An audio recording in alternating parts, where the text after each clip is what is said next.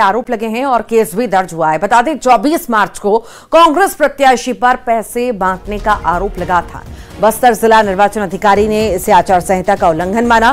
कवासी लखमा और जिला अध्यक्ष के खिलाफ एफआईआर भी दर्ज हुई है। इस पर कांग्रेस जिला अध्यक्ष ने आरोप लगाया कि अधिकारी बीजेपी नेताओं के इशारे पर काम कर रहे हैं। उन्होंने कहा कि कवासी लखमा से बीजेपी डर गई है। कार्यक्रम में पैसा नहीं बांटा जा रहा था, बल्कि परंपरा के अनुसार होलिका दहन समिति को सहयोग दिया गया था।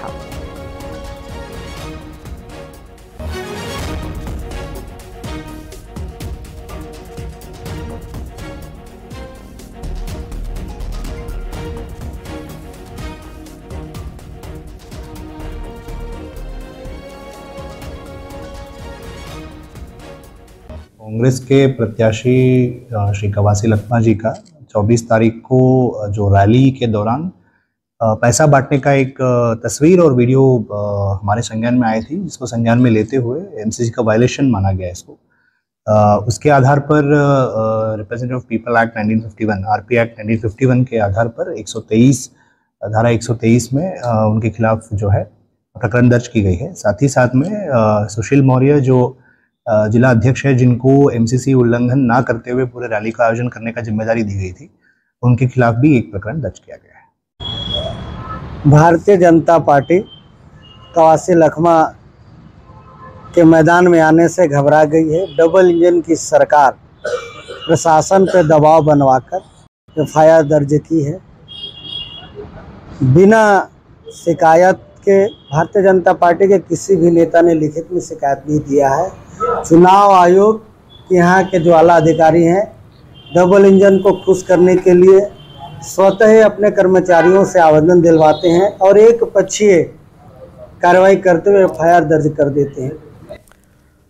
जगदलपुर का ज़िक्र करेंगे। एफआईआर पर कवासी लखमा का बयान आया है। मैंने नहीं किया आचार संहिता का उल्लंघन। उन्होंने कहा है कि सहयोग को प्रलोभन बताया गया है। प्रशासन को पहले नोटिस देना था। बीजेपी घबरा गई है। प्रशासन की कार्रवाई को गलत बताया गया है कवासी लखमा द्वारा। क्या कुछ उन्होंने कहा? सुनिए आप भी। तो बिना नोटिस से प्रशासन ने ये आरएसएस का दलाल बन के मैं सीधा आरोप है। बीजेपी के दलाल बन के नहीं करे हम कांग्रेसी लोग चूड़ी नहीं पहने। जेल जाने भी नहीं डरेंगे और हम लोग लड़ने में नहीं डरेंगे। इसलिए इस टाइप का हरकत पहला बार बस्तर में प्रशासन ने जो हरकत किया है मैं उसको कितना निंदक है वो कम है। ये भारतीय जनता पार्टी हारने के लिए दबाने के लिए डराने के लिए कोशिश कर रहा है। हम डरने वाले लोग नहीं है। इतना मेरा निवेदन है। रायपुर का ज़िक्र करेंगे लखमा पर एफआईआर पर सीएम का बयान आया है। लखमा को बलि का बकरा बनाया गया है। सीएम ने कहा, बस्तर के सांसद हमारे मंडल अध्यक्ष से हार गए। जो मंडल अध्यक्ष से हार गया, क्या चुनाव जीतेगा? हम 11 की 11 सीट जीत रहे हैं। सीएम ने ये बयान दिया है।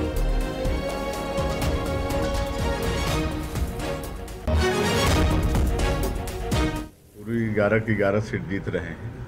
बल्कि हम तो ये कहेंगे कि कोई वहाँ पर मिले नहीं और जो पुराने और अभी तक सांसद हैं दीपक बैज जी जो पीसीसी चेयरमैन भी हैं हमारे एक मंडल अध्यक्ष से हार गए विधानसभा में। हमारा एक मंडल अध्यक्ष जो मंडल का अध्यक्ष होता है वो उनको हरा दिया और उनकी हिम्मत नहीं हुई फिर से बस्तर में लड़ने की और ज़बरदस्ती कवासी लखमा को हमको लगता है कि बलि का बकरा कांग्रेस पार्टी ने बनाई है। जगदलपुर का ज़िक्र कवासी लखमा पर दीपक बैच का बयान भी आया। एफआईआर के पहले क्यों आखिर जाँच नहीं हुई? बस्तर की परंपरा को मानने वाली पार्टी कांग्रेस है। हथकंडे अपना रही है बीजेपी। दीपक बैच के बयान पर बीजेपी ने पलटवार भी किया। कहा कि कांग्रेस इसी तरह के काम के लिए मशहूर है। जनता सब देख रही है। बस्तर के निवासी हैं। यहाँ के हर परंपरा को हम मानते हैं। और इसके बाद जहाँ भी मंदिर, मस्जिद, जहाँ भी जाए हम, देवगुड़ी जहाँ भी जाए हम, नारियल, फूलमाला, कहीं ग्यारह रुपए या कहीं इक्यावन रुपए, कहीं एक सौ एक रुपए, हम चढ़ाते हैं, ये परंपरा है, ताकि देवी देवता और वहाँ के पुजारियों के लिए, वहाँ पे साज सज्जा के लिए काम है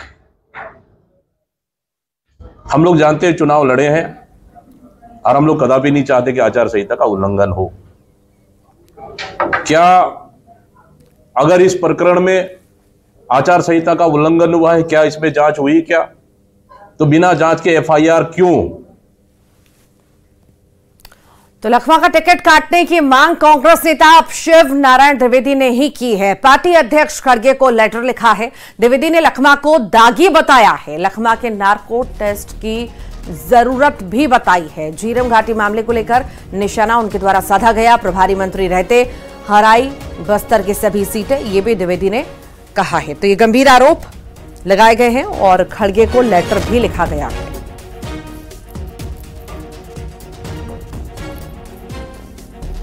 कांग्रेस नेता शिव नारायण द्विवेदी ने मांग की है कि लखमा का टिकट काटा जाए और लेटर लिखा है इसे को लेकर के खड़गे को। कांग्रेस की सूची जारी हुई है, जिसमें बस्तर से सुकमा के विधायक और पूर्व प्रदेश सरकार कांग्रेस के मंत्री कवासी लकमा को टिकट दी गई है वहाँ से लोकसभा की। जबकि ये जीरम नक्सली हमले 2013 में जो घटना हुई थी, जिसमें कांग्रेस के तत्कालीन प्रदेश अध्यक्ष सहित बत्तीस लोगों की हत्या हो गई थी, उसमें ये संदिग्ध है। मैंने इनके खिलाफ में न्यायिक आयोग जाँच को एक शपथ पत्र भी दिया था, जिसमें कवासी लकमा की नार्को टेस्ट की मांग की थी और कवासी लकमा के संदिग्ध होने की बात कही थी, जिसकी रिपोर्ट राज्य सरकार को सौंपी गई थी, लेकिन भूपेश मुख्यमंत्री रहते हुए चार साल तक उसको दबा कर रखे उसको नहीं पटल में रखा गया। तो छत्तीसगढ़ जनता ये जानना चाहती है इस हत्या के पीछे कौन है, उस रिपोर्ट को सार्वजनिक किया जाए। और सीएम ने शिव नारायण पर बयान दिया। झीरम कांड को पूरा देश जानता है। झीरम कांड में कवासी की कैसी गतिविधि थी, ये भी सीएम ने बयान दिया है। तो ये आपने सुना, इससे पहले बयान कांग्रेस के नेता देते हुए नज़र आए। अब सीएम साहब ने भी इसी को लेकर बयान दिया है। क्या कुछ कहा है? आइए सुनते हैं। गतिविधि थी। पूरा छत्तीसगढ़ क्या पूरा देश जानता है कि झीरम कांड में मतलब किस तरह से उनकी गतिविधि थी? सब जानते हैं।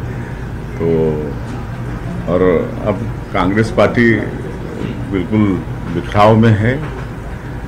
कई लोग टिकट वापस कर रहे हैं, कई लोग कांग्रेस के टिकट से लड़ना नहीं चाह रहे हैं। अच्छे अच्छे लोग, सब कांग्रेस छोड़ छोड़ के नवीन जिंदल जी जैसे उद्योगपति, जो सांसद भी थे, उनकी माता जी वो भी मिनिस्टर थी कांग्रेस से, वो सब छोड़ छोड़ के आज भाजपा में आ रहे हैं। तो आज समझ सकते हैं कि कांग्रेस की क्या स्थिति है देश में। छत्तीसगढ़ के बस्तर सीट पर कल नामांकन का आखिरी दिन है। कल बीजेपी और कांग्रेस उम्मीदवार पर्चा भरेंगे। आपको बता दें कि बीजेपी उम्मीदवार के नामांकन में सीएम साय और पार्टी के बड़े नेता मंत्री शामिल होंगे। तो वहीं बीजेपी उम्मीदवार महेश कश्यप ने तिथि और मुहूर्त को देखते हुए आज नामांकन भर लिया, लेकिन कल वो विधिवत नामांकन करेंगे। वहीं कांग्रेस उम्मीदवार लखमा ने भी नामांकन फॉर्म खरीद लिया है। कल पूर्व सीएम भूपेश बघेल की मौजूदगी में अपना पर्चा भरेंगे लखमा।